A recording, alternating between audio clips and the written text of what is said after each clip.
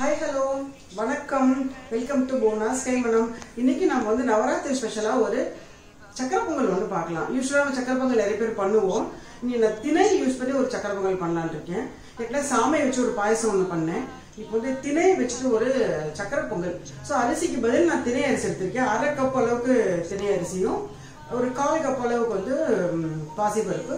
ஒரே ஒரு ஸ்பூன் கடலைப்பருப்பு. அந்த கடலைப்பருப்பு எதுக்கு போடுறதுன்னா அது சாப்பிடும்போது கொஞ்சம் நல்லா கிரன்ச்சியாக இருக்கும் வாயில் கடி நல்லா இருக்கும் அது. ஏன்னா ரொம்ப குறையாது பார்க்கும்போது அப்படியே வந்து முத்து முத்தாக தெரியும் அதில் வெளியில். அந்த தான் இது யூஸ் பண்ணியிருக்கேன். இதை வந்து ட்ரை ரோஸ் தான் பண்ணணும். அந்த ட்ரை ரோஸ் பண்ணிட்டு அதுக்கப்புறமா வாஷ் பண்ணிட்டு நல்லா ஒரு நாலஞ்சு விசில் கொடுத்து வேக விட்டுட்டு அதுக்கப்புறமா வெளியில் எடுத்து மசிச்சு ஆஸ் யூஷுவல் நம்ம சக்கரை பொங்கல் போடுற மாதிரி வெள்ளத்தை வந்து நல்லா வடிகட்டி அதில் போட்டு பண்ணலாம். அது எப்படி பண்ணலாங்கிறது நம்ம பார்க்கலாம். திணை சக்கரை பொங்கல் பண்ணுறதுக்கு இதை ஹாஃப் கப்பு திண்ணை எடுத்திருக்கேன். இதில் கொஞ்சோண்டு பாசிப்பருப்பு. இது வந்து ஒரு கால் கப் அளவு இருக்கும் பாசிப்பருப்பு. இது சும்மா அது ஒரு அழகுக்காக மேலே வந்து பார்த்தோன்னா இப்படி முத்து முத்தா தெரியுங்கிறதுக்காக கொஞ்சோண்டு ஒரு ஸ்பூன் கடலைப்பருப்பு. பருப்பு வந்து லேசாக ஒரு பெரட்டு பெரட்டிக்கலாம். ஜஸ்ட் ஒரு சூடு.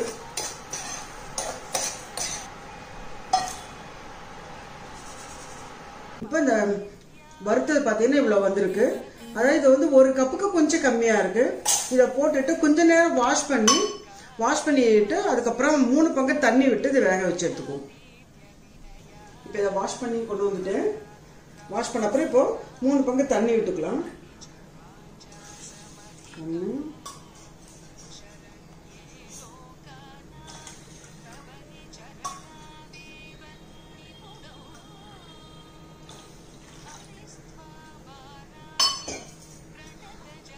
இப்போ இதை வேக விட்டு எடுத்துக்கலாம். இப்போ நான் வந்து மூணு பங்கு தண்ணி வச்சு இதில் வச்சிருக்கேன். இதை மூட மாட்டேன் பாத்திரத்தை. குக்கரை மட்டும் மூடிக்கலாம்.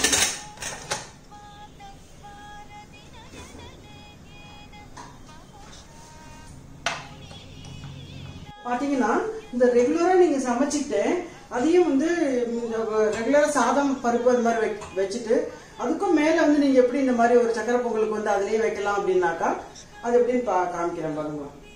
பாருங்க. இந்த மாதிரி ஒரு பாத்திரத்துல சாதத்தை வச்சுக்கலாம் நீங்க. ரெகுலரா இப்ப நம்ம காத்தால வந்து இப்போ நைவேத்தியமா இருந்தா காத்தால குளிச்சுட்டு சமைக்க போறோம் சாதம் நம்ம நைவேத்தியம் பண்ண போறோம். சோ இப்ப சாதத்தை இதுல வச்சுக்கிட்டு இப்ப இந்த மாதிரி ச- சக்கரை பொங்கலுக்கு நான் காமிச்சேன் இல்லையா அது மாதிரி உள்ளதை என்ன பண்ணலாம்னா இதுல போட்டு நீங்க பண்ணிட்டு இப்படி பண்ணி உள்ள வச்சு செட் பண்ணிக்கலாம். சாதம் இதுல வந்து இது பண்ணிட்டு மூடிக்கலாம். நல்லா இருக்கும் அது ஈஸியா பண்ணிடலாம் அந்த மாதிரி. அப்படி இல்லையா? இந்த மாதிரி பாத்திரம் வேற இது பண்ணா இப்ப இந்த பாத்திரத்துல கூட இந்த இந்த சக்கரை பொங்கலுக்கு உள்ளதை வந்து இந்த பாத்திரத்திலேயே வச்சுட்டு இது உள்ள வச்சுட்டு அதுக்கப்புறம் இந்த பாத்திரம் சாதம் வேணா இதுல கூட வந்து நீங்க வந்து சாதம் வைக்கலாம். வச்சு வச்சு மூடிடலாம். ஸோ உங்களுக்கு வந்து ஈஸியா இருக்கும். ஒரே சமயத்துல சாதமும் ஆயிடும். சக்கரை பொங்கலுக்கு அதுவும் ரெடி ஆயிடும். இப்போ இன்னொரு மெத்தட்லையும் பார்க்கலாம். இந்த பாருங்க. இதுல வந்து பருப்பு வேணா நீங்க வந்து பருப்பு வச்சுக்கலாம். அல்லது சக்கரை பொங்கலுக்கு பண்ணா சக்கரை பொங்கலுக்கு வச்சுக்கலாம். இதை வச்சுட்டு இது வந்து ரெகுலர் சாதம். இது வந்து இது வரைக்கும் வச்சீங்கன்னா இது மேல வந்து போடலாம். ஸோ இது வந்து இது ஆக்சுவலாக ஹவர் அழகு வரைக்கும் தா- சாதம் வச்சு ரெண்டு அழகு கொள்ளும். ஒன்றரை வச்சீங்கன்னா இந்த பாத்திரம் வைக்கிறதுக்கு நல்லா இருக்கும். இதையும் உள்ள வச்சு ஒன்றரை அழகு சாதத்தை இதில் வச்சுக்கலாம். இல்லை பருப்பு வச்சுக்கலாம். இதில் வந்து அந்த பாயசத்துக்குள்ளதை இந்த பாயசம் சக்கரை பொங்கல் அதுக்குள்ள இதில் வச்சுட்டு மூடிட்டீங்கன்னா மூணு ஒரே சமயத்தில் ஆயிடும் அவ்வளோதான் அவ்வளோதான் இப்போ வந்து த்ரீ இன் ஒன் பருப்பாச்சு சாதமாச்சு மேலே வந்து அந்த சக்கரை பொங்கலுக்கு மூணுத்தையும் ஒரே சமயத்தில் பண்ணி எடுத்துடலாம். ரொம்ப ஈஸியாக பண்ணிடலாம். சரி இன்னைக்கு நவராத்திரி பற்றி ஒரு சில வார்த்தைகள் வந்து பேசுவோம்.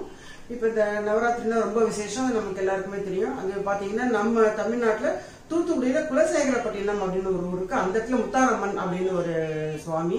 அதுக்கு ரொம்ப விசேஷமா பண்ணுவாங்க அந்த ஊர்ல நவராத்திரி நவராத்திரியும் போது. அதே மாதிரி பத்மநாப சுவாமி கோவில்லையும் ரொம்ப நல்லா இருக்கும் அது. நம்ம அந்த பத்மநாபுரம் அந்த பேலஸ்ல இருந்து அம்மன் குண்டான இதெல்லாம் அவங்க வந்து கொண்டு போவாங்க. அந்த ஆலய அந்த சீர் கொண்டு போறோம்னு சொல்லிட்டு அதெல்லாம் பண்ணுவாங்க. மைசூர் தசரா வந்து ரொம்பவே ஃபேமஸ் நம்ம எல்லாருக்குமே தெரியும் மைசூர்லயே தசரா வந்து ரொம்ப நல்லா கொண்டாடுவாங்க கோலாகலமா. ஸோ இது மாதிரி நிறைய விஷயங்கள் வந்து நம்ம வந்து தெரிஞ்சுட்டு தெரிஞ்சுட்டு இருப்போம் இப்போ என்னன்னா நம்ம இந்த ஒரு நவராத்திரியும் போது ஃபுல் அண்ட் ஃபுல் நமக்கு வந்து ஒரு அம்பாள் வந்து நம்ம தியானம் பண்ணி அம்பாள் நம்ம நினைச்சிருந்து எல்லாம் பண்ணிட்டு நம்ம கிட்ட சப்போஸ் கொஞ்சம் ஏதாவது தீய எண்ணம் கெட்ட எண்ணம் இருந்தா அதையெல்லாம் அழிச்சிட்டு மொத்தமா அம்பாளை நினைச்சிட்டு எல்லாருக்கும் நல்லது பண்ணணும் எல்லாரும் நல்லா இருக்கணும் எல்லாருக்கும் நல்லது பண்ணணும்னு ஒரு நல்ல எண்ணங்களை மட்டுமே கிரகிச்சுட்டு இருக்கிற கெட்ட எண்ணம் இருந்தால் அதையும் வந்து எடுத்துட்டு அம்பாளை நல்லா வழிபட்டு எல்லாரும் அம்பாளோட அருளை வந்து நம்ம வந்து உள்வாங்கிக்கணும் அதுதான் எல்லாரோட ஆசையும் வேற. அதனால நம்ம நவராத்திரி நல்ல சிறப்பாகவே கொண்டாடலாம். ஆடம்பரமா கோலாகலமா கொண்டாட முடியாட்டி கூட அட்லீஸ்ட் நம்ம வீட்டுல மேக்ஸிமம் எப்படி பண்ண முடியுமோ எந்த அளவுக்கு நம்மளால பண்ண முடியுமோ அதை நம்ம பண்ணி பண்ணலாம். ஓகே இது பார்த்தீங்கன்னா தூத்துக்குடியில் உள்ள முத்தாரம்மன் அந்த சுவாமி. இது வந்து கன்னியாகுமரியில் வந்து பத்மநாபசாமி அரண்மனையிலேருந்து அந்த இது போ சீர் போகிறது இது மைசூரு தசரா. அந்த பேலஸில் வந்து ரொம்ப கோலாகலமாக கொண்டாடுவாங்க. இது வந்து மைசூரு தசரா. அதோட கிளிப்பிங்ஸ்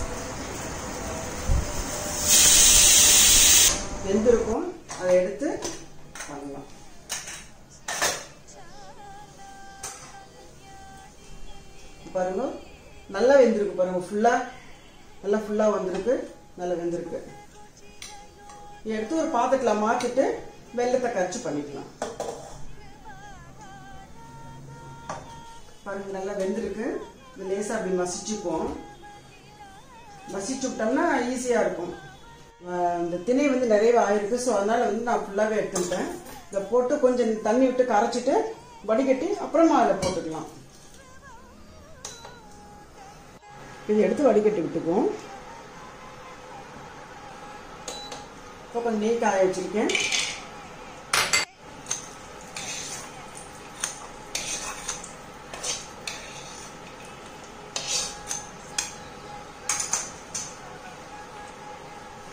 கொஞ்சோண்டு பேரிச்சம்பழம் பொடியாக நறுக்கி வைக்கேன். அதை எடுத்து போட்டு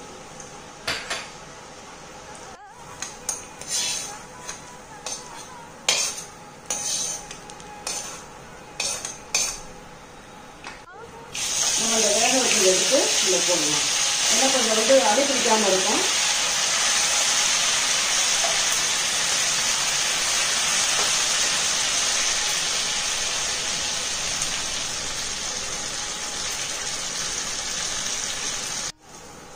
இப்போ இது நல்லா வெந்திருக்கு. ஆல்ரெடி நல்லா வெந்ததுனால சும்மா ஒரு கலர் கலர்னு இப்போ வந்து இந்த வெள்ளத்தை எடுத்து வடிகட்டின வடிகட்டி போட்டுக்கலாம் ஒன்றுமே இல்லை ஆக்சுவலாக ஓகே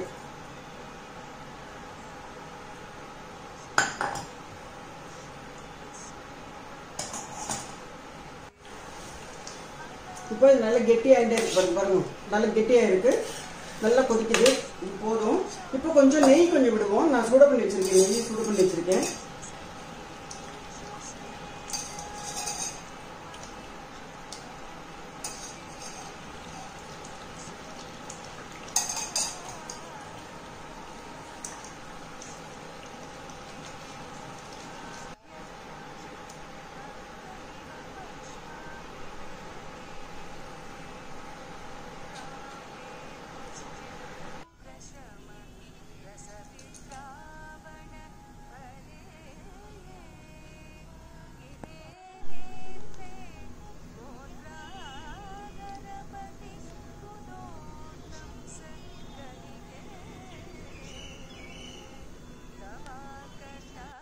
இப்ப பார்த்த இந்த திணை சக்கரை பொங்கல் உங்களுக்கு ரொம்பவே பிடிச்சிருக்குன்னு நினைக்கிறேன்.